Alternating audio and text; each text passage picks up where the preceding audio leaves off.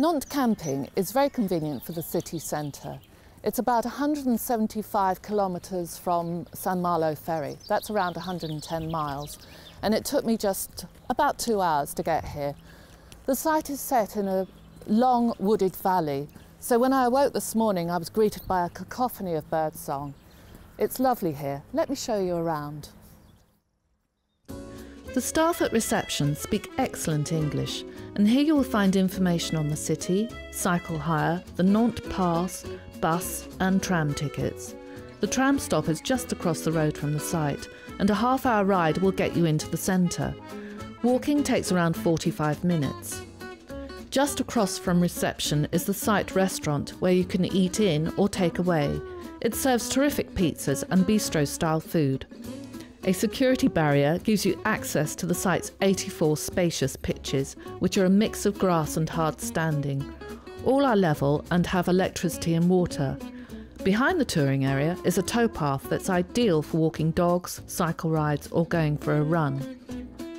The two wash blocks, with separate facilities for men and women, comprise a laundry, dishwashing, toilets, and showers, including facilities for the disabled, there's also a drive over service point.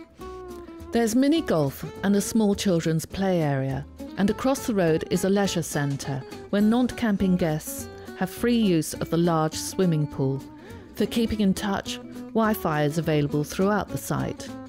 If you only want to stop for one night, there is also an aire here, which can accommodate 15 vans and has its own drive over service area.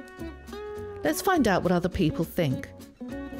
This is our fourth night um, and it's just been wonderful. The campsite is exceptionally good, better than what I thought. We were here 30 years ago and it was uh, not so good, but they've done it all up and it's uh, excellent. And it's so near the town as well and uh, the facilities of the tram into the town is excellent. I think the site is very, very good. Um, the facilities are superb.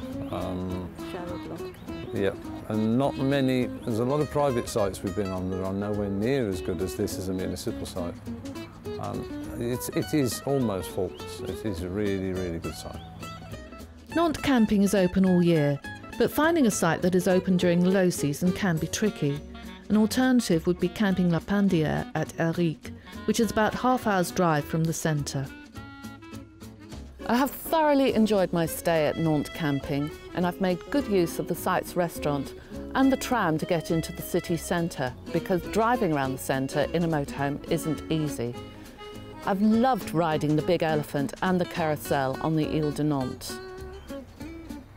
Nantes is an interesting and vibrant city with enough art and culture to have me coming back for more, but now I have a ferry to catch.